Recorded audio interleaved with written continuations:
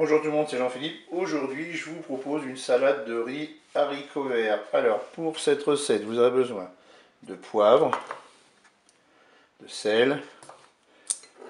Là, j'ai fait une vinaigrette avec 5 cuillères à soupe d'huile d'olive, 2 euh, cuillères à soupe de vinaigre euh, et puis une cuillère à soupe de moutarde.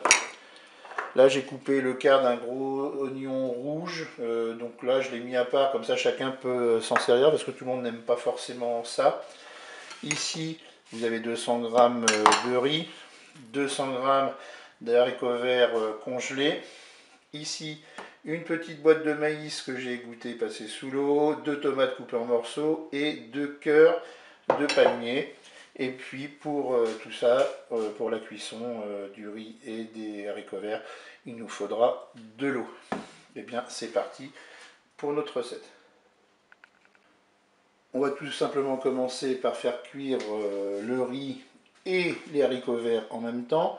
Donc là, je verse mon riz dans la cuve et je vais euh, déposer mes haricots verts également. Je vais maintenant verser eh bien, 400 euh, ml d'eau. L'objectif c'est de recouvrir le riz et je vais pouvoir programmer une cuisson.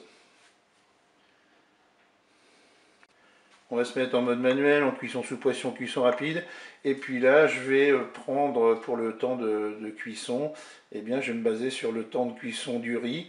Alors, euh, sur le paquet de riz, c'est marqué qu'il faut 10 minutes, donc je divise toujours par deux. Donc, on va mettre 5 minutes de cuisson. Je fais OK, avec un départ immédiat, je peux fermer mon couloir. La cuisson est terminée, je vais pouvoir ouvrir mon cookéo. Je vais maintenant égoutter le contenu de ma queue et puis je vais passer le riz et les haricots euh, sous l'eau. Et bien une fois que vous avez égoutté euh, le riz et les haricots verts, vous euh, pouvez passer bah, tout ça sous l'eau froide pour refroidir. J'ai passé ça dans un saladier.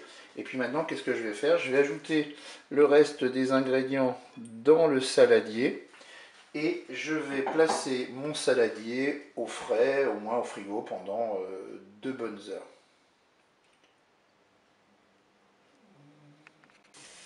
Je viens de sortir le saladier du frigo, j'ai mélangé les ingrédients.